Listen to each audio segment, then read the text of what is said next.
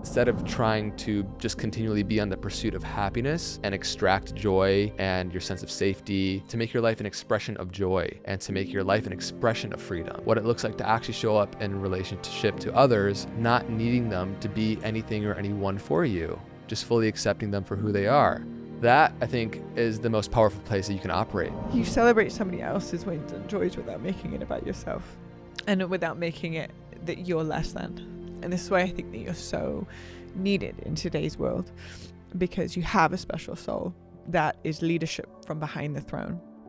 And it's a new paradigm of leadership. Understanding and learning deeply the process of what to do with your awareness in meditation. Not just sitting down and being still or quiet for 15 minutes, but really knowing what that looks like. Knowing what to do with your mind, with your thought process, with your awareness, so that you can actually taste stillness. We just had a moment where there were no words, but our souls got to reconnect from the same rhythm. It was like an unspoken rhythm that started pulsing through me, through you, and then through me, and then one of your friends, our friends, reflected back saying it was like you guys were like merging. I didn't know where you began and you ended, and it was was just this, this, this merging through the, the handpan. So I brought the handpan down today and we could just close out this podcast with, with sharing a little bit of handpan music and being able to play and pray together in a good way. Let's do it.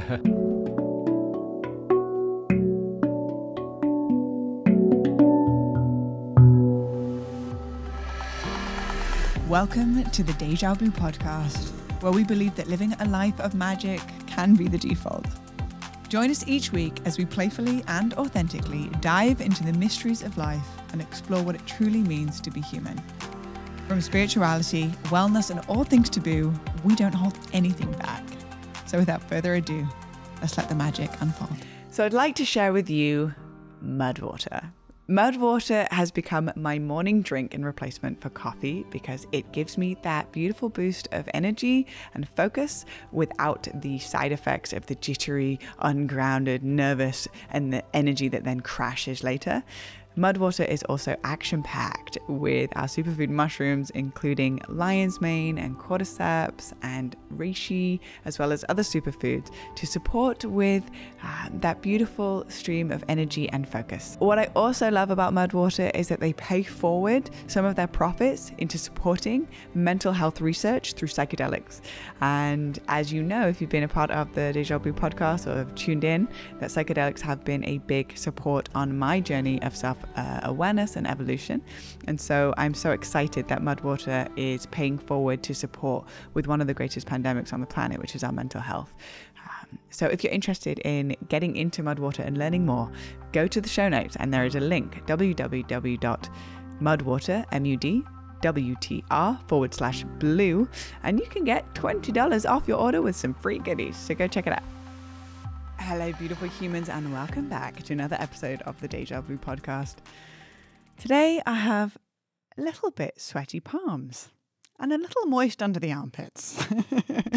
and the reason being is because this episode is so dear and close to my heart. And of course, by the nature of my connection with today's guest, it is going to be a deep, vulnerable dive, as every single podcast we've done up until this point has been so. And so it is truly such, such an honor to sit with this human that has single handedly been one of the main reasons why I am the way that I am today and why I have a podcast that is continuing to produce high level qual- quality content. This human saw me and believed in me before the world did and before anybody that listened to the podcast did. And he is a main reason also as to why I have been able to actually anchor in all of my desires, my dreams, my excitement, my creativity into physical form through structure and um, impeccability through my craft and what it is that I'm here to create. I've also been able to journey with this human for three years in partnership, in romantic partnership, as we journeyed through life and grew through so many different iterations of ourselves and continued every single day to reflect back to each other the brilliance in which we saw in each other and also trigger the shit out of each other in the best way possible, triggering us to become more of who we came here to be. And I do truly believe that that is what um, partnership is all about. And so I, the fact that I get to bring him back on today's episode in a long hiatus of having him as a guest. So the last time we did a podcast together was on my birthday two years ago, almost exactly two years ago. And this man, outside of my own personal relationship with him, him being one of my greatest inspirations to this date, He is also the founder of Meraki Media, which is supporting to put a professional frame around people that have heart centered voices to share their message with the world. So it's a production company that supports with podcasters.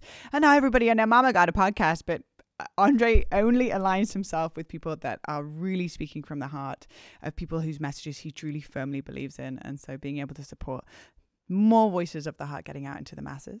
As well as that, he is also the host of his own podcast, the Know Thyself podcast. Oh my goodness, have I ever did see anything grow so fast, so quickly than the Know Thyself podcast? The level of professionalism, consistency, and deep study with every single guest that he has on is so inspiring to me and also a little triggering at times because he's triggering me into my greatness with my own podcast, which I absolutely love. So I'm here for it.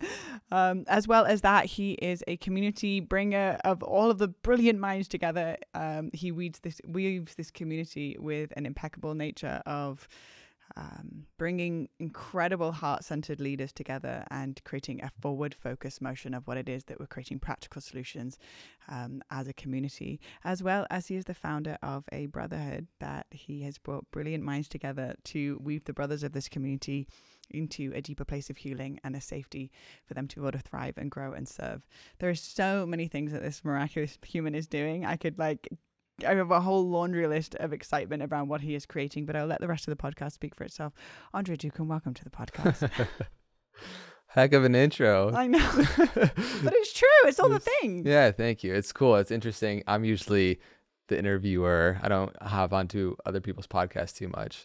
Um, so it's cool to reflect, get that reflection back. And I just appreciate you and thank you for always seeing me and just reflected reflecting back everything that you said to me a thousand times to you forever and always i'm going to be one of your biggest fans. That's just the that's just the default. That is just the way that it's going to be Likewise. and also i think that people are really interested in specifically people that have been listening to my podcast for many years and been a part of our journey and have now also been listening to your podcast. They're interested in our journey of our relationship. Um, and we have done a podcast on your on the Know Thyself podcast when we went through our separation and we did almost like a two hour long podcast of all of the intricacies of what we could share and extract the gold from our experience together. Um, and I had so many incredible reflections from people that have been navigating what we'd like to call conscious uncoupling um, and how to do it in a place of remaining and keeping the grace alive and intact. And so that they've given reflections to me that the podcast has been so illuminating during times where we desperately needed it. And for me, that is why we share vulnerably is to genuinely become medicine for other people. And I think that the only way that that medicine can translate to others is if it's genuinely embodied. And one of my greatest relationships, whether it's from partnership with you and transitioned into a friendship, it's one of my greatest relationships I know to date because we have navigated all different types of terrain and genuinely resting in a place of respect for each other. Now, with you being a host of the Know Thyself podcast, you're the one asking the questions. So, like you just said, putting you now in the position where you are being asked the questions, and um, I want to pull out a little bit more vulnerability from you. I want to like really understand who Andre be behind the scenes, what makes Andre tick, what are the things or the tools that have supported you to live the life that you live, and also simultaneously how you navigate such um, intimate, um, vulnerable waters, specifically within uh, your relationships, and specifically within how we've been able to navigate our relationship and move into such a deep, close bond that feels really good and really clean. Um, so, of course, there's many, many questions within that. I'm going to narrow it down first and foremost.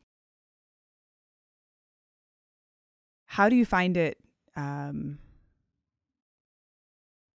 or uh, probably best way to address this as you navigate continue to weave directly close with me now in community in co-creations how have you been able to navigate a personal relationship from a deep place of grace and what does grace actually mean to you mm. There's a lot to open up here. there's like there's been a whole journey with you and this whole you know, whether whatever people want to call it, breaking up, consciously breaking up, conscious uncoupling. When you weave romantically with somebody so deeply for many years, your energies twine in so many different ways. You become each other in many different ways. You pick up on each other. Um, we became such more liberated versions in the presence of each other through our partnership and you know it becomes the continual choice to choose love over fear um, and to show up with grace in all of the moments after the relationship separates to still show up with love and you know because it's been a long journey over the past what couple years of us I mean, five years now. yeah so after separating you know we kind of talked a little bit on that previous podcast that we did Uh, P.S. The previous podcast that we did, I couldn't even get past the intro before crying. I was still pretty raw on that one. I feel like I'm now in a bit more of an integrated place, but in that in that episode, there was still so much rawness. There was so much beauty that came from that rawness, but I feel like now we're even in a, a stage that's even more developed. Anyway, keep going. Mm-hmm.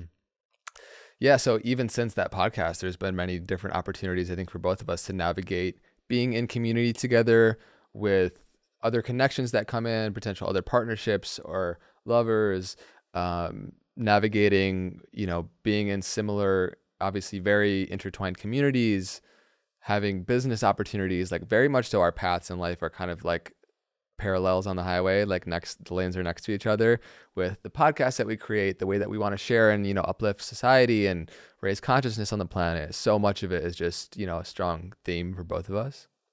So with that uh, we've been you know consistently been, been mirrors for each other but i suppose to, to answer your question what it means to really show up for grace and you know the after periods especially of our dynamic is simultaneously fully honoring the human emotion that feels whatever it might feel when you see your previous partner. If there's still emotions, if there's still feelings, if there's anything unresolved at all, to fully feel that, to to communicate that honestly, how it best serves, and to choose who you want to be in the moment. You know, somebody that can honor the fullness of their of their shadow and still choose to show up uh, in a way of service, in a way of honoring. To me, that's somebody who shows up with grace and uh, that's when you show up with grace then you're not susceptible to later down the line regretting so much of things because when you feel and you, you're really moving with grace you're doing the best that you can so that's what it feels like to me There have been times where there has been an accumulation of unspoken something.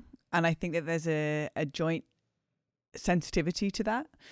And what I have learned from you is that I have never actually learned, I don't think from anybody else fully, is that it's safe for me to have my process. You have given me the privilege of my process. And what that means to me is that when I have over time shown a little bit more vulnerability of what stories I've attached myself to that's creating suffering for myself, and I've opened it up, it's only been met with love and acceptance and a deep level of listening without a defensiveness in return. Now, that sweet combination is like a formula that actually reprograms my nervous system that says I'm safe for me to feel whatever stories I'm running that is creating me suffering and being witnessed in that and being loved for it helps me to transmute the stories myself. And so there's been multiple times where I have felt stories accumulating and I have said, Andre, let, let's have a conversation. We've had multiple points where we've had very transparent, real conversations and left no stone unturned in the moment. And in that, what it did is it diffused the potential we could have separated because of, of stories that have not allowed us to come back together. So I'm curious around what have you done or have studied, or is it just your nature to accept within me the stories I've presented to you and met them without resistance or needing to defend your character? Because that in itself is a lifelong journey to be able to get to that place. And so it that formula can only be accessed when you've done the own, your own internal work. So what does it mean for you to witness somebody without judging their process specifically when there's a tie in romantic partnership? Yeah, yeah it's a it's a great question and you know maybe we can even got, go into some of the nuance too of certain examples of it to make it more tangible for people as well but just to answer your question there were there are continually innumerable opportunities to choose who you want to show up in that space and when you say what have i done? or if, if it's just my nature you know i would assert that it's actually all of our nature. Deep down that's who we intrinsically are. Our essence is filled with love wants to share it in that way and yet we have all of these protection coping mechanisms And it's really how we often come into connection with other people is through the lens of self protection. We deeply are identified with being somebody. And with that, there is perceived threat all around us. And so when somebody, especially in romantic partnership, comes up comes to you with something, some issue, um, some concern, something they're even just working through, which is often the case, it's their own process. There can't be there's no defensiveness when there when you don't feel there's anything to defend. If you come to me with something and it, it's really a reflection of a core vulnerability that you're sharing or a wound or something that you're moving through, to show up as a, as somebody who's really a, a, presence of love, which is something that I'm committed to, and I'm sure many of your listeners are committed to, then uh, it's it's discerning and revealing what it means to actually listen to somebody. So often we're listening through the lens of self-protection. What is the perceived threat? And it's primal. It's deep within ourselves and within our brain to uh, notice where there might be threat and so the more that we remove and let go of the feel and the need to cling on to that identity then the more that we can actually really be with somebody this is one of the things that actually came up within earlier in our relationship is there was one kind of thing that i was working through within the first year is uh, perceiving you through the lens of how i wanted to see you. And that it was a sad realization for me because you're actually not really connecting with somebody when you're in that space. You're connecting with the facade that you've mentally created about them, the thoughts and feelings and emotions, perceptions that you have of them, not actually who they are. And so I choose as best as I can, not always flawlessly, but whenever there is an opportunity for me to show up in that space, I choose to show up in that space, kind of zooming out and saying, you know, this isn't, uh, you're bringing something to me that is revealing an issue of mine. You're revealing something that you're working through at a deep fundamental level. How can i be a, just a space of loving and of love and, and listening to you deeply and seeing what you're trying to communicate um, really through yourself and not just to me and how i might want to perceive it? So i think fundamentally it comes back to learning how to listen just really actually learning how to listen and pay attention without the lens of self-protection creating a barrier between you and the other person and with that then depending on the circumstance, and we can maybe go through a couple of what those have been, whatever those triggers are. Uh, it, like I said, it's just I feel like a process of, of choosing to show up with love and um, you know realizing that those core wounds are very analogous to a child that doesn't feel safe, a child that is worried about its own survival, a, ch- a child that just wants to be held, and oftentimes just wants to be witnessed in that space and known that it's going to be accepted and not judged. Mm-hmm. Uh, it's like even just within you sharing, it just is such a deep invitation for how I wish to continue to move forward in relationship. And I think that the greatest place of growth is in romantic partnership from my personal experience because I was thinking about it the other day. It's like, huh, I think I'm evolving. I'm not as triggered as much. It's like, nah, bitch, it's because you're single. Like, you're spending so much time alone. like, you ain't got nobody triggering you. like, of course. And I was like, oh, yeah. All right, let's sit back down for a second. The second I think I, I have something figured out, it's just really merely because I'm just spending a significant amount of time in my hermit archetype. And so it's like, wow, okay, cool. Not as many triggers anymore. Um, however, to be witnessed by somebody from the moment that you wake up to the moment that you go to bed. Even like walking in and someone's on the toilet, you know, it's like, oh, hey, what's up? Or brush your teeth while someone else is taking a shit. Like, this is intimate. Like, this is like way after a year in, you know, after the sort of the honeymoon phase, and you you got yourself all presented this buffet version of you that's like, oh yeah, and I like to do this, and and I'm gonna speak really articulated so that you think that I've got my shit together. and actually, like, okay, you're in and not slept for a couple of days, and you've like been purging all night because you've got food poisoning, and you're like mascara's all down the side of your face, and you just feel like shit, and you've left a pile of laundry over somewhere else, and and like this is actually the real real. And I feel like within the real, real, this is actually where so much growth and so much potential can happen. Now, something that I have noticed is that it requires both of us to be in a deep level of full ownership of our triggers. And I mm. have been in an experience where there is not that from the other side. And so there's a frustration that can happen when one person is willing to do the work and take full ownership and the other person isn't. And this is what I m- mainly see is why relationships can't have a conscious uncoupling. Um, and that's something that you and i have been able to have within our conversations is no matter what triggers present themselves usually me. I'm the one that gets triggered more. Um, I have been able to address it from a place of this is my experience and this is the story that I'm telling myself around what is. Now, from that lens, no longer do you feel attacked. Um, and therefore, then the defensiveness doesn't need to present itself because there's a level of ownership. So, moving forward, how do you, if you were to give context or just place your wisdom in what it means for both people to take full ownership of their experience, if you can break that down of what that means to you? Well, I think it goes back to you can't fully take ownership if you're still, in a way, looking to other for fulfilling all your needs. And hold on, there's something that's like pretty packed piece. we enter relationships thinking that somebody else is supposed to fill our needs, and yeah. we're starting the first domino from a place of codependency. Yeah, there is so much to unpack in that one mm-hmm. sentence. Keep going, but yeah. like that is that's that deep in our dating mm-hmm. life and our the way that we perceive life, which is almost like starting off on the wrong foot. For sure. Yeah. Well, you could assert it's necessary for a certain stage of development to then reveal what you don't want your experience of life to be like, then to, you know, be that experience that mirror of what your own inadequacies, perceived inadequacies are, and then you can heal them and then you can come into truly relating with another person which is this new paradigm of connecting in romantic relationship where there's two wholes instead of two halves that need to complete each other two wholes coming together and experiencing the joy of being with each other. And i think this is a big shift with how you can actually be in a healthy relation with other human beings whether it's romantic or not is to instead of trying to just continually be on the pursuit of happiness and extract joy and your sense of safety and home externally to make your life a to make your life an expression of joy and to make your life an expression of freedom. What it looks like to actually show up in relationship to others not needing them to be anything or anyone for you just fully accepting them for who they are.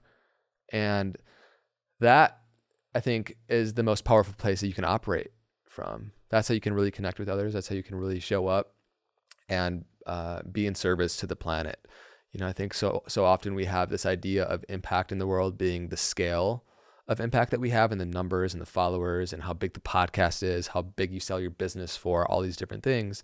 And it's a very Western minded view of impact.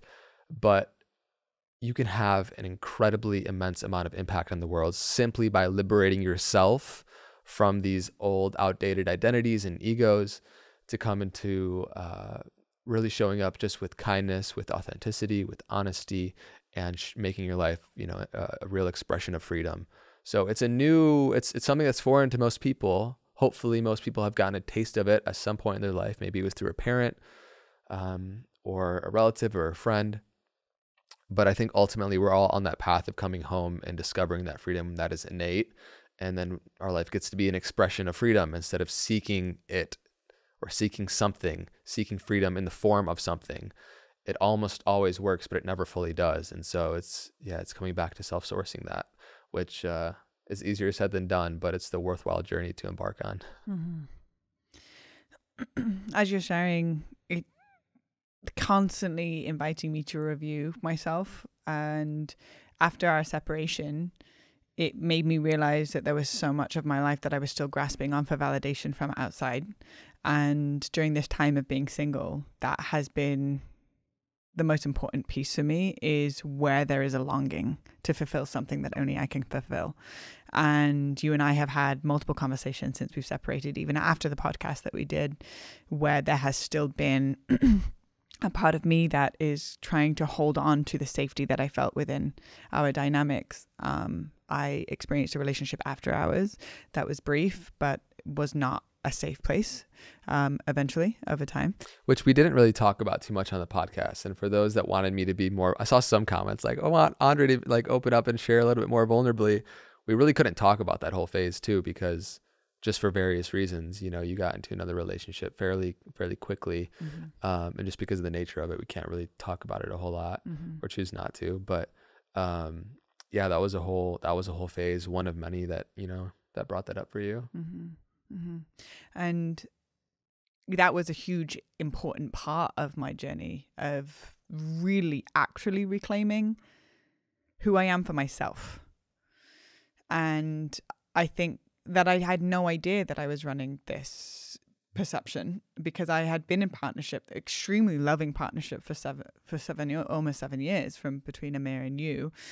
And so I didn't realize that a lot of my validation was outsourced and it makes sense going back like for for all of us you know our relationship to our mothers and knowing ourselves through the eyes of our mother for the first three four years of our life we know that we're doing good or bad based off of her map of consciousness of what she thinks is good and bad and how she responds her relationship to control her relationship to to um, herself ultimately then passed on to the child. And then therefore that stuff that curriculum that we need to tr- to work through in our personal experience before we have children and therefore continue to do the healing so that we don't pass on our trauma to our children.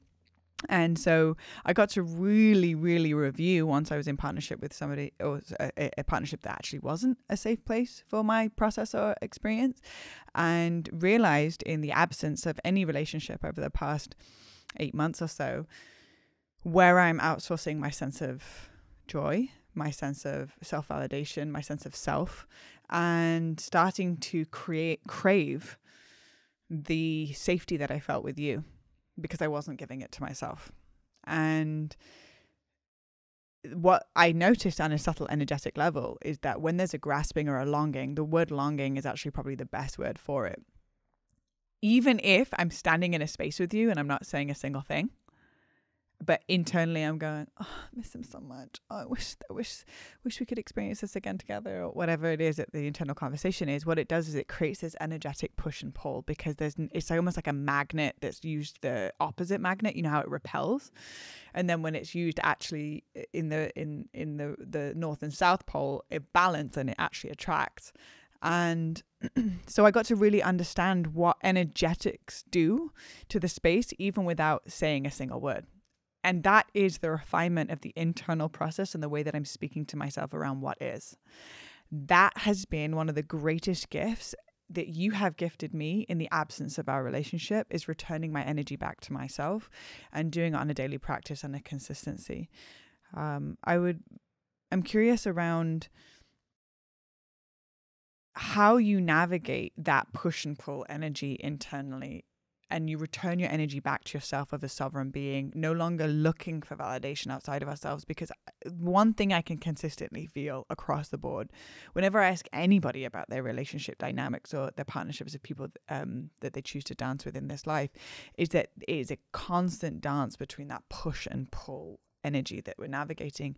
How do you return your energy back to yourself so that you can genuinely enter any partnership from a place of wholeness as opposed to desiring validation externally. Yeah, well, I think for most people, part of the journey of getting to that place is actually experiencing that push and pull, uh, experiencing what it's to to really truly desire and work towards having unconditional love, you probably will experience a lot of conditional love. and so And would it, you say most love is conditional love? Yeah, and you know, it it just you know, love is one of those words where it's it's got so many different meanings based off where people are at in their own life and in the world. Um, you know, I feel very much so, and how I would like to use it is really recognizing the other as self, and um, and sharing in that presence together. You know, I think that there was many. I mean, there's many times where, especially because both of us are so sensitive and we both feel each other very deeply we know each other very well. If there's anything that's unspoken in the space, it's felt immediately. There doesn't really need to be anything said. like the other day, I was like a little salty because of a text message that he sent me, and I may have misinterpreted it through a personal lens of defense mechanism. Maybe, maybe I did, maybe I didn't.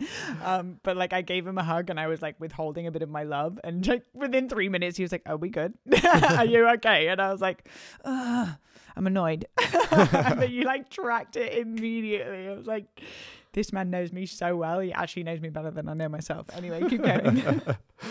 well, yeah, I mean, that's part of the process of being in a mirror, you know, in a relationship with other people is I was even just talking to a, a good friend who's been brilliant, wisdom filled mind, also very much so lone wolf, kind of loves to be on his own, be in his own energy, often like myself, kind of very happy to be in my own little, you know, bubble of bliss that I create for myself in my own home and in my own flow. And he's been doing that for a while. And, uh, you know, one of the big realizations for him is to explore and taste what it's like again to go into community to move back closer to la to experience uh, the reflection through partnership. And, you know, true freedom isn't when you feel free off in a cave in the Himalayas, but when you're truly tested with all the possible triggers that would have habitually triggered you and to still feel freedom in the face of partnership in the face of romantic in the face of you know connections and, and kids and when you can really when you feel it in that space then it's like okay that that's really when you get to that point of, of feeling resolved. So, you know, everybody's path is different, and I feel like for me, self-sourcing that own validation, I would I would say that it was a lack of need to for anything to validate. Like there, you know, coming to that place where there's there's not an identity that needs to be validated in the first place. So it's not really fun at trying to solve the issue of being validated, but dissolving the ego or identity that feels a need to to be be validated at any point. It's like recognizing your own inherent worth. And again, it's part of the path of just living life and trying to trying to reach out and feeling that longing external to fill what we feel the lack of in, inside.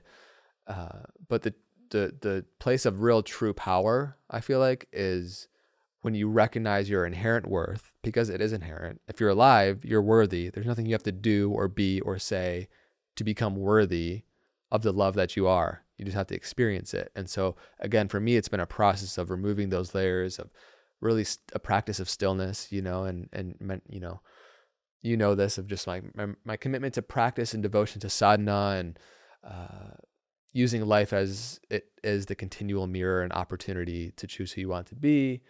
And through that, you know, and I've been on this path for a while. Maybe people are familiar with my podcast, you know, coming out the past year, but it's been a journey of 10 plus years of personal development and on this path and studying and learning more about myself. And now people see it more in the light. And uh, I'm definitely not, you know, proposing that I have all the answers, that I have it all figured out. Um, I genuinely do feel like I live my life from a state of joy the vast majority of time. And that's been a process of, of letting go more than it has been garnering something. Deborah Silverman said to me once um, that lucky people are the ones that live under the correct laws of the universe. And I feel like it's so easy from the outside in to look at your life and to go, God, that dude's lucky. Oh, he's just like figured it out. I believe that you, of course, are human, and I have in the past pedestaled you just because I just I mean, I personally been able to spend three years in a very intimate setting with you and walk out of that with nothing but respect. That is very telling. And I believe that things work in a peaceful manner and a harmonious manner because you're living under the correct laws of the universe. And that internal navigation and your discernment of what is the correct laws of the universe, yes, has come from trial and error. And secondly, I think that you have a very special soul and I say the word special not to mean better, but special. Special doesn't necessarily mean better, it doesn't mean above. But special allows for certain people around you to start to remember where their North Star is for themselves. And that's the gift that you give to others. And so there is a way that you operate and live your life that seems lucky from the untrained eye but is actually living under the correct laws of the universe. And therefore, that's why I think that it's so inspiring to have you as a guest on the podcast, not just hosting. And that's why whenever you ask me, like, what should I share? I want, I'm like, want more of you. Because I know since I met you, it's not ever been about you. And I, the testament of that is that you wanted to create your podcast. You wanted to be able to share your wisdom that's been cultivated over a plus time of a decade and yet, what you did for me as a gift on my birthday was build me a podcast set. And you put, I'm going to get me emotional again. You put professional lenses on me um, and asked for nothing in return when it was what you wanted for yourself. And most people want something because they want it for themselves. And you gave me an opportunity to share my message. Because you lo- genuinely love me.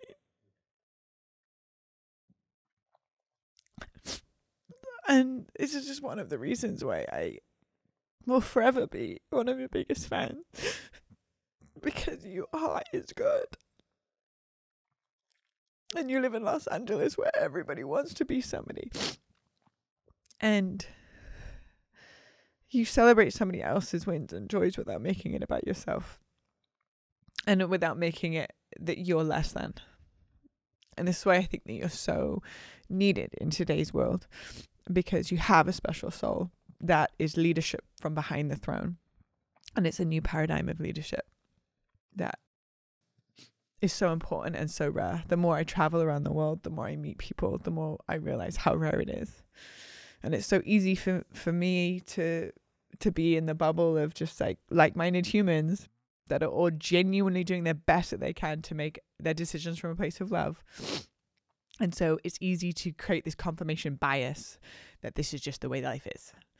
And I think everybody lives in a bubble. The, whether you go to England or you go travel to Thailand, everybody's in their own bubble. So, yes, we live in a bubble in Los Angeles, but within that bubble, there is a piercing truth that permeates your vessel through your words, through your actions, and through your deeds. That I will continue to be the encouragement of more of you and it's not necessarily about the you as your own identity but the you that is your path of your life. And i would love to to hear a little bit more about what are the practices of consistency that you apply to your everyday life to ensure that your decisions made in the heat of the moment continue to live on even though the emotion of the moment has passed Thank you so much. Love you so much. That was really beautiful and just fully received. And um, for everybody that's listening, one of Blu's absolute clear superpowers is her ability to see others and to reflect the beauty that she sees in others. And she just melts the hearts of everybody that she comes in contact with in community because she really operates from that place of seeing and reflecting beauty, you know. Whereas we were speaking to earlier, a lot of people navigate from the place of comparison. And of course, we all can fall into traps of doing this at times as well. But um, I see more often than not just really sharing the beauty that you see around and reminding people of that instead of reminding people of their own inadequacy or comparison. Uh, you really show people um, and remind them that of that beauty. So just thank you so much. And yeah, you know, the podcast set or, you know, in partnership, I just always want the people that I care about most and the people that are close to me to to thrive, to prosper, for more of their medicine to get out in the world. And so for me, it feels like a joy to be able to do that and weave like that. Um, it feels like a, a gift for me to to give to others in that space, which is then therefore a gift to the world. And so, yeah, that's what I'll say about that. But just appreciate you. And yeah, the, I suppose with your question, you know, you we were speaking to a little bit about the lucky ones are the people that live under the laws of the universe, right? So to me, correct. it feels like, yeah, the correct laws of the universe. Yeah. So it's really, I feel like just simply aligning our nature with nature's nature. The actual na- natural world, plant animal kingdom, we have evolved to be in connection and communion with that. So that is part of us. It's part of ourself with a capital S. It's more more expanded than this just limited body. I think so oftentimes we grow up, we are ident- identified with our name, our caste, our creed, our ethnicity, this body, this mind, our thoughts at a deep fundamental level. And the more uh, disconnected that we are from nature, the more chaos that we feel, the more suffering that we feel. When we go back into the natural world and we experience, and I was just on a hike this morning, suddenly your problems don't have less power over you because you realize you're the the the seemingly the the the insignificant insignificance of them compared to the vast expanse in which you live and you're also getting all these bio this biofeedback and signals from the world so like that is one thing that simply connecting back into nature gives us and reminds us of our own true nature. Um, and I try to set up my life best as I can to optimize for my mind, body, and spirit to be in its nature. By going to bed when I know uh, is best for me. And when I say that, I mean when the time I go to bed, when I wake up in the morning, feeling like I can really be of service, show up with my gifts, feel clarity of mind. When you're not well rested, your willpower goes way, way through the floor. Um, you're more likely to overeat. Uh, you know, your your willpower is just really shot in so many different aspects of your life, and life just kind of has a more grim outlook. Like you feel less uh, optimistic about life simply by maybe getting an hour less of proper good sleep with your natural circadian rhythm under the correct laws of the universe. That's just one example of sleeping and, and giving ourselves the nourishment that we need from sleep to then show up and your outlook and perception of life will completely change. You know, so that goes through so many different aspects of life from what we're putting in our body, from what we're putting on our body, from the time we go to sleep, from realizing the deep primal human emotional need for community and connection and proper relationships. Um, and and ultimately, you know, meditation has been one of the biggest practices where if you start in the morning and you know you can have a couple times throughout the day where you make it a more um, you make it a more at first maybe rigid, committed, devoted thing, and then it becomes something that you just want to do because you realize the joy and the the effervescence that it brings to your life.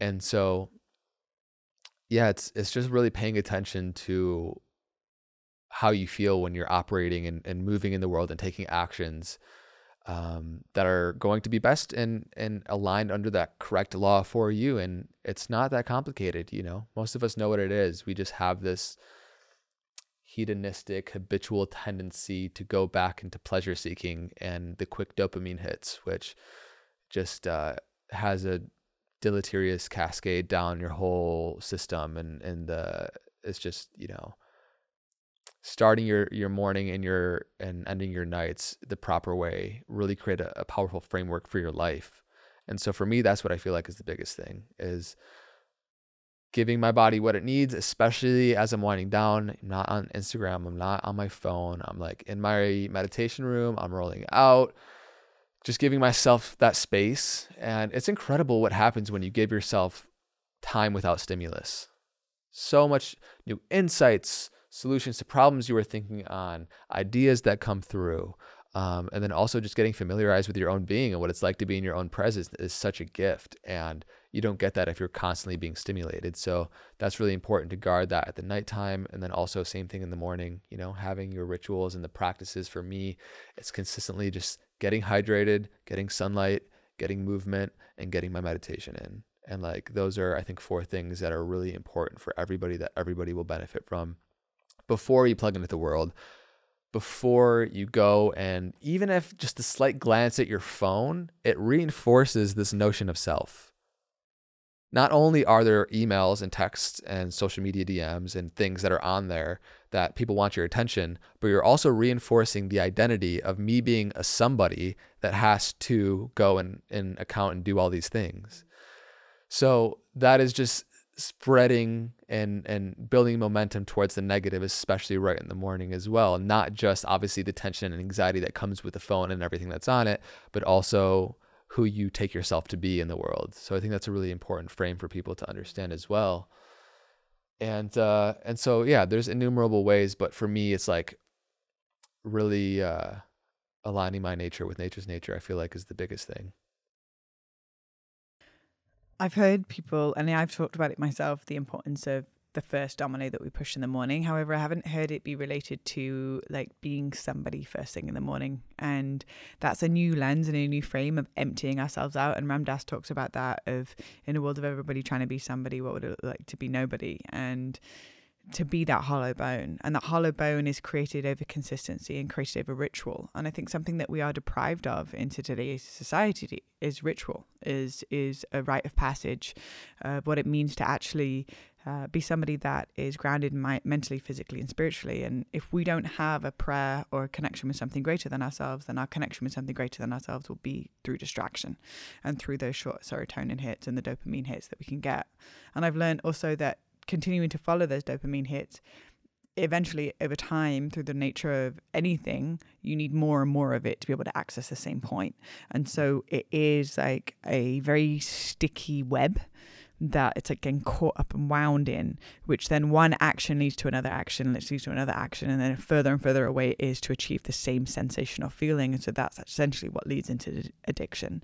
Addiction in many different forms. And I think that addiction has become normalized in today's society that when somebody for example, is drinking coffee every single morning or needing a glass of wine every single night before bed, it just becomes norm what we do. And we watch our parents ex- exhibit it and go, oh, our parents do it. So this is what's normal. And what that addiction is, is it's, it's hidden, whether it's in the bread that we eat that is drenched in sugar. Um, that, that hit that we get from eating is a byproduct of being disconnected from ritual and di- being disconnected from an education around um, how the brain works and the chemistry of the brain. So a lot of your path or a lot of your small decisions and your small acts that then contribute to who you are in a general like the the default of who you are has come from education and study what were the main pieces because of course there's intuitive wisdom but there's also that you read books every single night before you go to sleep, right? Or like for the most part, you're studying a lot. You've been in the deep teaching of Sadhguru's practices. What are the main pieces of education, study, or insight that has crossed your path, has been the piece that has significantly been integrated into who you are today? Mm-hmm. Yeah, so there's a lot that I could bring up there. First, I just want to mention when I so Marianne Williamson has this quote of you can either endure the sharp the sharp pain of self discovery or the dull pain of unconsciousness, which would endure for the rest of your life. Oftentimes, when you nip it in the bud first thing in the morning, or you choose the discomfort of going in, you know, sitting down to write your book or whatever it is, it's just that kind of sharp pain of ripping off the band aid, oftentimes because we have this habitual tendency to just do what is comfortable. But once you, the more you do that, the more that you realize that there is something actually inherently pleasant about the concentrated mind when a mind that is concentrated on a task is like there's something inherently pleasant about it. The distracted mind, there is something inherently unpleasant about it. Now you are getting the dopamine, and so there's that pleasant, you know, pleasurable experience, but it doesn't have a good after effect. It has a bitter aftertaste in your mouth.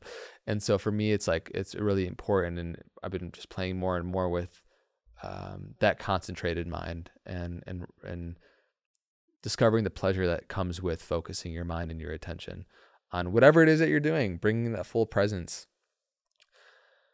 Earlier on in my path to answer your question, I feel like it was much more of a pursuit of self improvement. So a lot of the books were around personal development, um, and so much of that was fundamental into how I operate and weave in the world. So I'm grateful for all of it. Self acceptance, on the other hand, is the other side of it, which can be more profound than self improvement. And so I wouldn't say there's any one thing, text, person, idea, practice that has contributed the most to my path. It's been I've been privileged and I do, even though I'm operating under the correct laws of the, the universe as much as possible, I do feel like the luckiest man on earth. Like I feel so grateful for the life that I live and for the opportunities that I have to share my gifts, to weave community, to so, so much of it. So I'm just so grateful for it and I can't take credit for it. I feel like earlier on in my journey, I had this idea of what do I want to create from life? What do I want to make of life? And now it's switching a little bit more to like, what does life want to create from me? What does life want to make through me? And it's a subtle shift, but it's a deeper surrender into listening and to paying attention to the gifts that life, God, creator, of the universe has given to us. And then it's now our responsibility to give those gifts back to life in our unique way. That is the unique individuation of God, of how it expresses itself through us. And so getting deeper and deeper clarity of how life is trying to use me in the best way. How can I be of greatest use of life? That to me feels like a really exciting life. And one that once you find that alignment, life gives you the most amount of abundance possible because you're aligning yourself with nature's nature, which, if you look around, if you paid attention, is pretty damn abundant. Nature is incredibly abundant. And the more that we align ourselves with it, the more that we get that reflection back to us. And so, you know, the most fundamental, if I had to pick a couple, you know, um, powerful things for me has been understanding and learning deeply the process of what to do with your awareness in meditation. Like actually like they're not just sitting down and being still or quiet for 15 minutes, but really knowing what that looks like, knowing what to do with your mind, with your thought process, with your awareness so that you can actually taste stillness.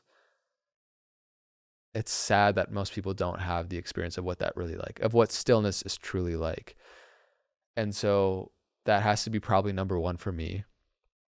Um, on the flip side of that, getting the mirrors and reflections from people that I have chosen to be in my physical circle that I want to spend time around. You know, we become so much of what we intake in life, and most people think it's just what they eat, but our mind and our subconscious mind is always on record. The conscious mind can accept and reject whatever is in our reality. You can say, I like this, I don't like that. But the subconscious mind is always accepting whatever is being exposed to it through the light that we see, through the words that we hear, through the thoughts that we think. It's always picking up on that. And so I've made it especially a thing over the past couple years to be really discerning the individuals that I that I place in my life. To choose that the men, the brothers, the, the those individuals that I keep in my life, that uh, there's a level of work that they've done on themselves, and really it comes down to a lack of pretense. There's not something that we want from each other. There's not an agenda deeper behind um, in just being in true connection, communion, and relation with each other. And with that, you can blossom and, and share incredible um, and share really just truthfully what's going on within your own mind, body, spirit, and allow that reflection and mirror to come back to you with a clean mirror. If somebody's got a dirty mirror, you don't necessarily want to look into it because you're not going to get a clear reflection. But if somebody's got a clear mirror, then it can be an incredible tool to see yourself through the eyes of another. And that's what we were talking to earlier. Like when you're single, you have maybe less triggers to work through because you're getting less mirrors and less reflections of your life. And so, um, you know, it's both my own process of growing my own self awareness through stillness and then also choosing the individuals that I want to be around that can provide reflections for me, that I can provide reflections for them. And through that, we go in this beautiful spiral of self awakening. And yeah. That analogy with the mirrors and the house of mirrors kind of reminds me if you choose to be around somebody that is not fully living in a integrity or ownership and more so living in a realm of production. It kind of reminds me when you go to the fun houses and you look in the mirrors and they're distorted and you're like really long legs and a tiny torso and you're like, oh my gosh, what the heck am I doing? You know, that's also the the byproduct of a lack of discernment of choosing to surround ourselves with just merely because we don't want to be alone and feel lonely. So instead, we choose the people to be around that actually are not fully walking a path of integrity or a path that we would want to walk ourselves. And so then we look in the reflection in the mirror and we see really, really long legs and a tiny torso and these tiny little T Rex arms. And we're like, oh my God, I'm hideous through this reflection. And so it's like kind of, I've never used that analogy before, but it does remind me of that, that the mirror works both ways. And so, there is something in what I talked about before about the time of being alone and noticing that desire and longing for for a sense of safety from outside of myself. And to say actually I'd rather be lonely now and to start moving and transmuting this loneliness into self-validation in the in the in the absence than to have the reflections merely because I'm just craving that perception that that reflection, but that reflection actually being distorted. And so there's so much power in the self validation before then choosing and the discernment of who then becomes a reflection. And for me personally, I've learned, like, I've gone from being somebody that I thrive, like, community is my lifeblood. I just love community. I love bringing like minded humans together. I love living in community. It's just something that is so dear to me, has been since I was a kid. And in the same breath, the more self actualized, the more self realized I become, the less mirrors I actually ask for and crave for. Um, and it's the crave has ch- has transmuted from a need into a want, and the want has become way more distilled down. And so I can say that I'm plugged into a big community, but the people that sit at the very intimate table of the reflections that I choose when I've lost my way or I don't know where my north and south is because I'm shrouded in in emotion. Those humans that I choose to reflect back to me are those that I would, lo- I, if I didn't have my life, I wouldn't mind being and that being the default. And that actually becomes like fair and few. It's like n- not actually that many people. And something that i have noticed within um also reflected back to you between us there is a very uncanny parallel that we always run, and it is affirming um, in many different degrees to just the law of resonance ultimately. And something that I have noticed is that you have recently created a, a men's group that is brothers that really, really, really genuinely have each other's backs. And I don't know what it is that you guys are doing when you're hanging out with each other, but I can feel the impact of it. As a woman that is craving safety, because I think that most of my sisters just want to feel safe, especially in the presence of a man. Most of us haven't actually had that imprint dating back to our father. So to feel that sense of safety in another man is a paradigm shift in itself. And witnessing the men over time invested within a safe space that you have pushed the first domino of and set this container, I am watching my ability to converse with them from a deep place of presence. There is a sense of full ownership of their experience that has integrated in. There is a sense of grounded and rootedness in who they are and there is an opening that I feel within myself because my nervous system starts to feel safe in the presence of. And I think that that is the dance between men and women and the masculine feminine, the masculine feminine not being subjective to a sex, but the the the man and the woman dance and the polarity of that requires a deeply rooted sense of self within the man for a woman to be able to fully flourish and open up in her fluorescence. And that's the alchemy that I'm noticing that is happening from the work that you're doing with your men's group as a woman that is experiencing the byproduct of what it is that you've cultivated. So I'm curious to hear your perspective because I can already feel my my perspective of the importance of this work, your perspective of the importance of brotherhood and what that actually means. That's not just bros that like, you know, hang out and watch a football game together. That's beautiful in itself and that has its own place. But I want to hear what your definition of true genuine brotherhood is and the principles that you've applied to your brotherhood that seem to be creating results. Yeah, I haven't shared too much about the men's group or brotherhood really too much. Recently, just shared a little bit on my podcast with Matt, who's a brother in it. Um, simply because it felt so, it, it felt like the purity of it. I just wanted to keep within the container, within all the guys and everything. And you know, I'm still, I guess, mindful of certain things that that I share about it. But what I will say is, it's it's quickly become just one of the like most beautiful things in my life. Uh, there's something so deep, you know, like you spoke to, the feminine essentially wants to feel that safety, that the the the the riverbed that holds the river or the garden bed that grows the flowers. Um, I think everybody in the group really has this commitment to radical authenticity, and presence and kindness and also reverence for the feminine as well. You know, some of the guys are in partnership, but I think all of the guys uh, in total f- feel the power of the feminine essence. And so a lot of the work, honestly, over the past year has been rediscovering that feminine essence, letting go of old, outdated paradigms of who we think we are, addressing the trauma that is you know, causing people anxiety and fear. I just think of how much pressure people put on their own romantic relationships trying to be and be everything for each other, expect everything, feel every need for each other, and then resolve all of your human stuff within the container of one person. And I see the way of the future as, you know, there's that saying, the next Buddha is a Sangha. Thich Nhat Hanh said the next Buddha is a Sangha, which is a community of individuals, a group of a collective that are, you know, holding that frequency within their heart. And I, and I feel that very strong. And the the way also I see of just like the evolved romantic partnerships is for there's something powerful when you separate the polarities. When women can have their women in their own women circles, which they tend to are much more natural at, and they do that more effortlessly.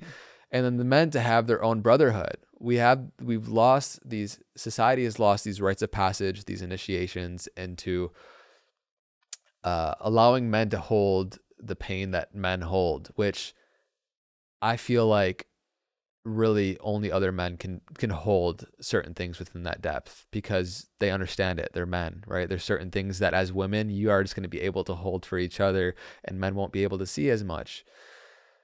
So it's been such a beautiful process of meeting every month you know of doing these trips every 6 months or so and getting to the place of feeling really safe within the dynamics of the individuals which are all incredibly powerful business driven leaders in the world or you know, um, you know, musicians or uh, big business CEOs and founders, uh, but really just heart heart centered leaders is like the most important thing. And to be able to come together, just uh, you know, like a few weeks ago, one of the one of the guys was really struggling with something. He was having like a lot of anxiety, and um, he fa- we did like a group FaceTime within like 15 minutes. Everybody was on the FaceTime group call, and we were just holding space for him, grounding him in. He was like really releasing a lot, and that to me is a representation of just a new paradigm and just to know that you're not alone and that you can be held and there's so much power and safe connection and brotherhood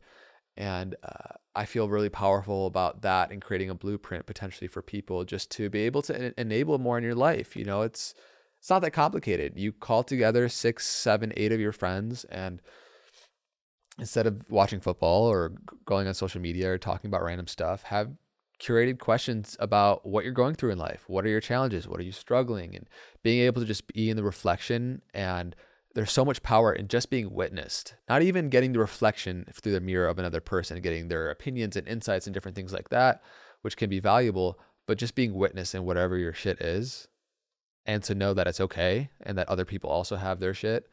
There's something that diffuses the power and the grip that those neuroses have on you when they can just be witness in a safe container. So that's one thing. And then I see all the guys really incredibly powerful individuals and have shamanic tendencies and really are just deeply able to hold space for other people and share those potent reflections. And through that, there becomes this incredible catalyst and upward spiral of everyone's growth. And with that, like the reflection on those mirrors of like the funhouse, it gets clearer and clearer and cleaner and cleaner. And slowly you're reflecting less about your shadows and more about the light and helping you step into your bigness and what you're here to bring and share your gifts with the world. And that gets to be a really fun journey to go on. And so I feel really passionate about it. And it's been one of the greatest things in my life. And um, I can't take credit necessarily fully for bringing the group together, even though I kind of orchestrated the first thing. But it feels like every single time when I, you know, do these mastermind dinners or like started the men's group, there is a greater intelligence that comes into the room when the minds and hearts of many individuals come together. And so allowing for that intelligence to guide us what is what are these intuitive voices and um, what what is life asking of us and how we can show up and starting to listen in that in that greater intelligence i feel like uh, you know it's guided us to some really incredible places and so it's been a beautiful gift in my life very grateful for it and passionate about sharing the message of the power of it for people to actually implement more in their life Oh, I feel like I'm on the edge of tears every time you answer a question. um, these ones are loaded with the realization of the importance. I think about my sisters and I think about what it is that we share within our little groups of what it is that's on our hearts and what we're navigating in partnership, what we're navigating in our relationship to the masculine, what we're what we're navigating with our relationship to men, um, and when you're sharing, I just go into it like an existential moment and I zoom out of Andre or any of the men in your group and more so about what this archetype or this journey actually looks like when it's multiplied, where this becomes more of the norm. And it's so rare and it's such a piercing pocket into something that feels so resonantly true to me and simultaneously so rare. And that is what makes me emotional is that simultaneously I mourn that this isn't more common. And in the same breath, I'm ecstatically joyful that this is even happening and that I, as a woman within the community and having close relationships with pretty much all of the men in your men's group as friends, um, I am being able to receive the gift that is being rippled out, and it is like the champagne tower, where it's it's recognizing if you want to have champagne in every single glass, you have to fill the top glass first, and then it ripples over. And what's happening in this space, and from what you've shared and what I felt, is like a, a very safe, genuinely safe place. And what I mean by safe place is that nobody's judging another person for their process, but more so it's a permission slip for the process to be accessible for everybody in their own unique way. But what that is is, allowing a, a, a healing of the way that they speak themselves and having a safe outlet for the repressed emotions that have been stuffed down their whole life, so that then what's happening now is it's not coming out in partnerships or it's not coming out towards the the, the, the female uh, or towards women um, in in relationship because it's an unhealed process within their own relationship to their own mother, um, and vice versa for women. Right, the importance of these spaces, and and yet the thing that resonates so deeply true to me is that women just want to feel safe, and and men want to feel free, and this is something that we are still learning how to dance with. But first and foremost, we have to give that to ourselves. It's the only way we can give it to another. And to be able to give it to ourselves, sometimes we need other people. And I use the word need very little, but I think that we need each other. And that's what you're saying is we're moving and transcending from the epoch of that there's one person sitting on a pedestal or a podium and speaking to everybody else. And now we're actually moving into leadership behind the throne where it's stepping, allowing everybody to step into that position of leadership within their own nature, within their own relationship to themselves, and therefore being able to gift that from a synergetic standpoint, more like a, uh, a dominion as opposed to a domination and that is what I'm experiencing within your group and it's also what I'm experiencing within my sisterhood and the women that I work with and and the containers that have been cultivated. And like you said it's so easy and natural for women to come together in circles with our titties out howling at the full moon. Like that for me that's like default. I know it's not everybody's default but it is mine. Um and and with the women that I work with you know I have Bernadette here in in in the studio and she's helping me weave, weave with the podcast but it's it's first and foremost sisterhood. It's having each other's back is being there in ceremony it's being there during full moons and then we co-create and we have a forward momentum motion but it's from a understanding that we're rooted in our prayer and we're holding each other with whatever it is that comes up and then we just so happen to be working together and co-creating. So it brings me so much joy and peace and a resting within my spirit to know that even in my immediate reality this work is being done with men as well and I am so happy and grateful for the women that get to dance with the men of this group. Um, and to be able to experience a safe, healthy relationship. I have had the blessing of being able to experience that with you. And um, that's something that creates a new default in my life for me moving forward as how, what it is that I'm calling into my life and how I'm relating to myself and the healing that continues to ripple long after the relationship has passed and is trans- transformed into a friendship, the healing still happens. And so I'm just really emotional around feeling the amount of chaos that's happening in the world and then being able to taste truth or the closest thing to truth that I can possibly get to in my own psyche uh, my own conscious awareness in this present moment and so I just wanted to reflect that back in this the importance of what it is that's being cultivated and the gift that I get to receive through you, through the men in this group, and the importance of this work on this planet at this time. Um, and I think that sometimes we can get into a place of inertia that there's so much that needs to be done on this planet. Every time we open social media, there's another thing that we're being inundated with, with wars on the planet. People's lives are being lost. The divi- the the separation and the division that is happening through, I mean, so many different pockets of life and we can get into this inertia that I don't even know what to do anymore. I don't even know how I can support people that are in the Middle East right now. Like, what what can I do? It feels almost like it feels almost like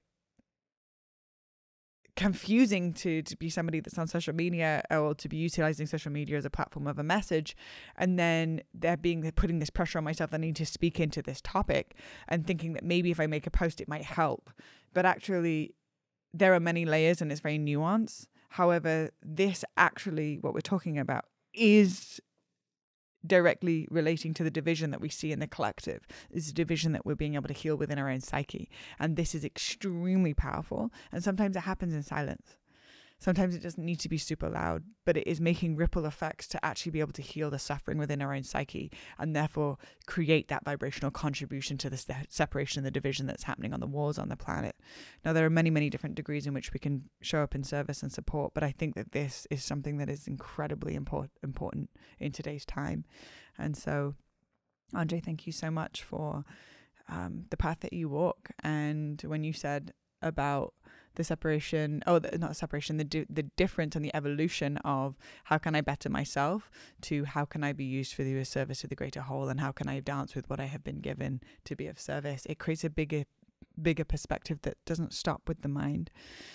Um, and something else that I want to reflect on that you bring, that you and I both bring into each other's life through our friendship and through the way that we we weave in the world, is, as you know, and as people that listen to the podcast, I'm deeply rooted in the Gene Keys. The Gene Keys is an incredible guide and teacher for me, and something that you have double of, and I have double of. Yours is double um, intellect in the shadow, the gift of precision and the Siddhi, the enlightened aspect of impeccability. You have it double. So if you ever have anything double, it's a superpower. It's also a super challenge, is the intellect. Um, processing everything through the mind and becoming a little bit rigid is the shadow of it. Now, the impeccability is how I th- I believe that you live your life. Like y- impeccable is probably one of the main words that I would just use, choose to describe you. The double that I have, I have multiple doubles, but one of them is the double shadow of distraction the gift of freshness and no not freshness sorry distraction um and oh my goodness distraction and intoxication with the gift of mindfulness um and the Siddhi is what? the Siddhi? intoxication? Huh? Intoxication the, the Siddhi is intoxication. So the combination that you and I, I feel like that you and I have for each other is that in the shadow, I'm extremely distracted and you're processing it through the mind, mm-hmm. um, and, and creating a rigidity. And yeah. I'm like not here and I'm like constantly sure. going over for the short hits and the, and the, and the serotonin and the dopamine excitement of like, oh, um, however, in the highest expression and the reflection of each other is impeccable intoxication. And I think that that actually perfectly describes us when we are fully whole beings coming in collaboration. Mm-hmm. And that's something that I want to wrap up this entire podcast with a bow is recognizing that the human can exist. And when we can understand the human and have a safe place within a, a partnership that has transitioned into a friendship, but it continued over time invested to pr- to ensure that this is actually a safe place, that our intellect and our distraction can exist because without that we cannot experience the impeccable intoxication that is also our collaborative um, uh, combined superpowers. And one of the final piece around the partnership dynamics and something that i have extracted that has been the first ever in my entire 32 years of being on this planet that I've been able to access this kind of love is to witness you be in partnership with somebody else and to genuinely celebrate it. That has been something that I have not actually had access to before.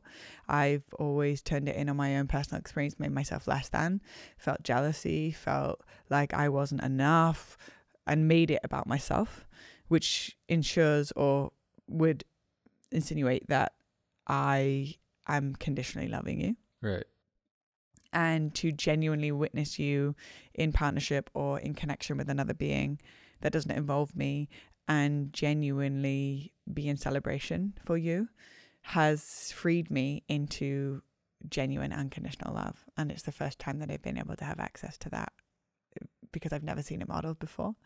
And I have been imprisoned by it simultaneously but felt like I did not have access to be able to let go and through this friendship, I have been able to access genuine unconditional love. And what that's done is it planted a seed in my psyche of the default that I wish to embody moving forward in any kind of partnership. So I wanted to also speak into that piece because I know that I'm going back to an original part of the conversation. However, it was it felt like an important part that I wanted to weave into this conversation is now for the first time in my entire life I understand what unconditional love is and it is all encompassing unconditional love doesn't care what you wear. Unconditional love doesn't care if you have a pimple on your forehead or how you present yourself, whether you're in your shadow or in your light or in your story or in the liberation. Unconditional love is unwavering. It doesn't go anywhere. It doesn't change. It is a default of all of life and all of creation, all of nature. And it's something that humanity has drifted so far away from and I didn't realize that I had drifted so far away from it because I was born into conditions. All of us are born into into conditions to some degree, and so within this friendship and this partnership and this soul contract, I have been able to taste unconditional love, and I think that that is the greatest gift one can ever ever, ever receive because it can last for a lifetime. And so I just wanted to acknowledge that and say thank you for the gift of being able to taste what unconditional love is and to now understand the direction that I want to move in moving forward mm. as a human on planet Earth. Hmm. Thank you so much for that reflection and just sharing and yeah, the like the the couple times that I've, you know, been exploring potential partnership with somebody, you know, I was like over the past couple of years like dating a girl or something, you'd if it got to that point, you know, where like you would like if you if they're because everyone's a community here, it's like it's a, a, tight circle, so it's inevitable that you'll you know be weaving or see each other. And so I've those couple times where you have like gotten lunch with them or like you know giving your blessing or just like uh, you know showing up and choosing to to operate from unconditional love is really beautiful to see as well. While I'm not in partnership now, I think it's a it's a beautiful thing to celebrate and hold that for each other. You know as new connections come up as they inevitably will. Mm-hmm. Yeah. Oh, it's so good. you are a wellspring of, of knowledge and integrated wisdom. Ditto. Ditto, Bluebee. say, say the same for you. And thank you so much for, for coming on my podcast. It's been a journey. And for those that have been able to tune into the podcast from the get go, they will sit with me by my side and understand my emotions that I, I navigate and move through. And there's something so real and true for me about coming on the podcast and just sharing these vulnerable truths and yeah. these vulnerable experiences. And of course, there's a part of me that like I, I I'm learning astrology at the moment, and um, I'm doing a class with Deborah Silverman, and I'm understanding my astrology chart, and I have Leo and um, Scorpio, which is a squared in my chart and if you have a square of anything it means that they fight against each other or like there's like tension towards them. So there's the leo in me which is all like share everything and just be completely transparent and just lay it all out on the table. And then the scorpio in me fights that. And then after i share i go into a vulnerability hangover and i just hide away and i close and i go into my scorpio cave. Um, and so i have definitely been in the dance with that on the podcast. Uh, but the thing that makes the most sense to me is to create conversations that I needed a few years ago and I wanted access to.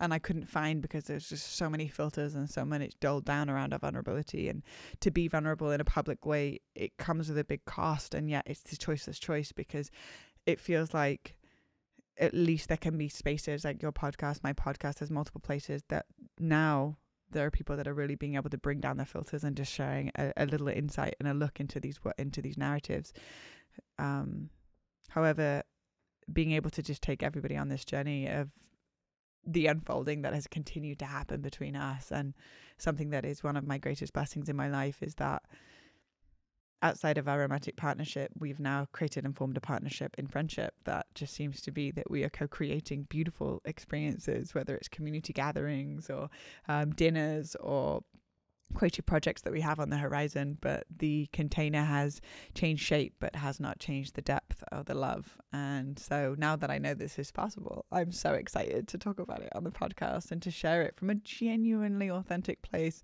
Um, and not necessarily just presenting all the polished versions of ourselves or the awakened aha moments, but also the grief and the sadness and the guilt and the shame and the guilt and the jealousy and the un- uncertainty. And I think that that's also just what makes us human. And so we can continue to share our authentic hearts. Um, yeah. Yeah. And for anybody that is going through or one day inevitably will go through a separation with partnership, just to remind them that it is possible that the love can just take on new forms. And if it's not romantic partnership, then it can be in the full celebration of others to know that it's possible, you know, to have that reference point, I think is important. And, uh, so let's keep on doing that. And it's fun to weave and plan, you know, trips for people and, and, you know, later this year, a trip that we're going to go on with some people and uh, continue to weave and share our voice on podcasts and all the things. So, mm-hmm, mm-hmm. yeah. Well, I'm really grateful and just honored that I get to keep you in my life um, Likewise. as as um, one of my best friends and the greatest inspirations. And um, You've also been working on some cool things behind the scenes. You've got your first ever like proper official course. We did a podcasting course once, but it was sort of like, Mm-hmm. you know, a couple of hours and it was a Zoom call and, and sharing our wisdom collectively. But there is something that you've really been working on and, you know, to the point where he has his phone on airplane, not airplane mode, do not disturb mode all day long so that he can focus on what it is that he's got in hand without any distractions. So what is it that you're creating right now? Yeah, I've I've really felt into how I can show up, serve, and simultaneously grow the platform, the business, and everything kind of simultaneously. And you know, one thing that I'm sure a lot of listeners that are tuning into this episode right now feel the urge to share themselves as a creator, and um, something I'm very passionate about is this conjunction between conscious individuals and creating media and like you know medicine for the world and and sharing in that way and so over the past like probably five, six months, I've really kind of committed to creating a whole course around podcasting. And for anybody that wants to start a podcast, that has a podcast, that wants to grow an existing podcast, or is just interested in the whole industry, podcasting, as you know and I know, is one of the most incredible things in modern age. Is like I learned so much from podcasts. Starting my own has been the greatest joy, and I've created uh, an incredible course and blueprint for people to follow to start a podcast, how to know what you want to call your podcast and name it and what's it going to be about, to iterating the guests and how to get the guests on your show and the hosting and distribution and how to actually use the equipment and record it and monetize your show and grow it and like support you along that process. And so, yeah, by the time this podcast comes out, it'll probably be out there so people can check that out. We'll like leave a link in the description or something. Playing with names, I think it's going to be called Podcast with Purpose. And it just feels like a really beautiful thing to support and empower creators and potential po- potential podcasters uh, with the tools and understanding and awareness to really uh, pour fuel on that fire and and share their voice and medicine with the world. So yeah, it's exciting. And like I said in the introduction of you, you are one of the main reasons as to why the Deja Blu podcast is what it is today, with the professional fame, with the right amount, right, right equipment, how to put on the show notes and the YouTube titles and the thumbnails, and the, I mean, there is an immense amount of work that goes on behind the scenes, and it's so easy to go, oh, I like listening to podcasts, I want to podcast myself, but it's like that's beautiful. It's the fool in the tarot where it's just like kind of like leaning off the edge of a cliff, smiling, being like, I have idea what I'm getting myself into, and there's a naivety to it. Simultaneously, naivety part is it, it can be a blessing because it starts the journey for you without getting too much in your mind, and partner with some good amount of logic Yeah.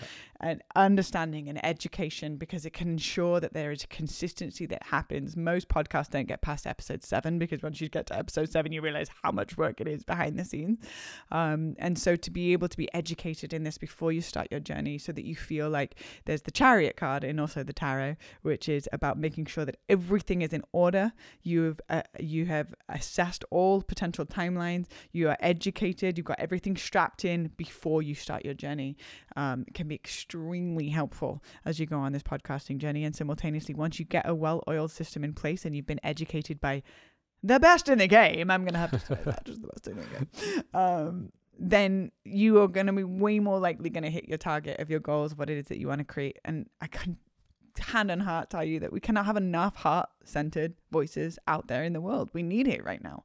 And so instead of getting into the court, into the narrative there's just too many podcasts, everybody and their mama's got a podcast. Why would I start one? Why have I got anything to say that any of, of any value? Well, who are you not to share your voice when it's genuinely rooted from a heart centered place? Because I can tell you right now, mainstream media is just not doing it and we don't wake up anymore and we don't watch the news for the most part. Most people listening to this podcast do not even have a TV. But we do wake up and we go on Instagram and we watch other people's stories. We do wake up and we scroll through our phones, um, or ideally not if you're applying Andre's wisdom. um, but that we have become the media. And so, what would it look like for more heart centered voices out in the world from a professional frame to create a sustainability so that can actually hit the impact and not just just be concerned by the the intention, but align with our impact too. And so, this is an incredible opportunity Mm. for those that genuinely are curious by this path to be able to learn from the best in the game, which I have, and this is where we are at now with with uh, season three, and continue to crush it. um, thank, you, Andre, so much Thank for you. for being here and sharing your wisdom and for your transparency and your vulnerability and classic case scenario. Blu cries on a podcast again. but that one actually hit really deep, and I'm going to have to integrate it a little bit after this podcast. I think I've Bernadette was also crying on the side. We're all having a little oh. emotional oh. moment. um, but thank you so much for being here, and and I, I'm just yeah, I think I've tooted your horn quite a lot on this podcast. I've definitely done it enough, but I do that. It's just genuine to me. Yeah. And um, thank you so much. I look forward to continuing to weave with you and doing another podcast later down the line to see where we're at then and to share more insights and things that we have learned. And um, yeah, if you have any final things that you want to share.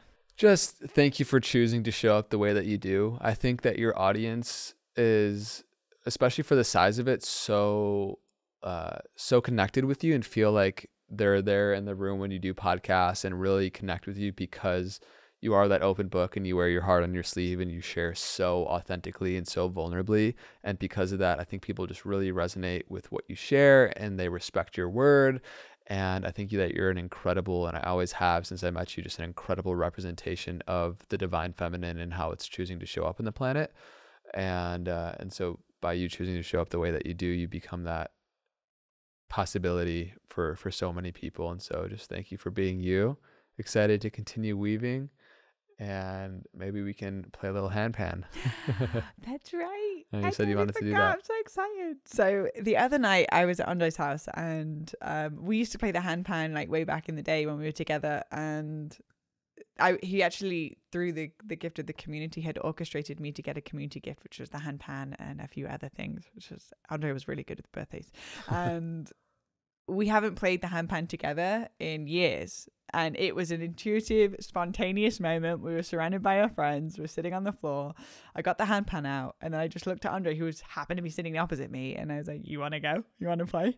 And there wasn't even really a moment of thought. It was just a yes. We took off our rings. We got to take off your rings before you play, and we just started playing. And I just we just had a moment where there were no words, but our souls got to reconnect from a the same rhythm. It was like an unspoken rhythm that started pulsing through me, through you, and then through me, and then one of your friends, well, our friends, reflected back saying it was like you guys were like merging. I don't know where you began and you ended, and it was just this this, this merging through the the handpan. So I brought the handpan down today, and we could just close out this podcast with with sharing a little bit of handpan music and being able to play together, play and pray together in a good mm-hmm. way. Let's do it. Before we go into the handpan, if you resonated with today's episode and it feels something that's true in your heart and you feel like could benefit other people, then please go ahead and share it on your Instagram stories. Tag myself and Andre so that we can also repost it and continue to spread this message in a good way. We cannot spread this message without you far and wide. And so if it feels true for you, remembering that the Blubirds represent representation of beauty, love, and unity. And so it is individuals that are choosing to walk their own authentic path of spreading beauty, love, and unity in your own unique way. And so if this episode resonates with that, and resonates with you, then please go ahead and share it. And that would mean so much to us. If you're watching on YouTube, then go ahead and press the subscribe button so that you can stay in touch with all of the latest episodes that are being shared. And also for Andre's podcasting class, it, the information will be in the show notes and everything that you need to do to find Andre and continue to follow him along his journey and to be a part of the movement of love and the reclamation of empowerment within your own hearts, then go ahead and just follow him over on Instagram. YouTube, podcast Know Thyself, and all of the magical things. Until next week, thank you so much for tuning in. I am sending you so much love. And without further ado, I hope you enjoy the handpan music.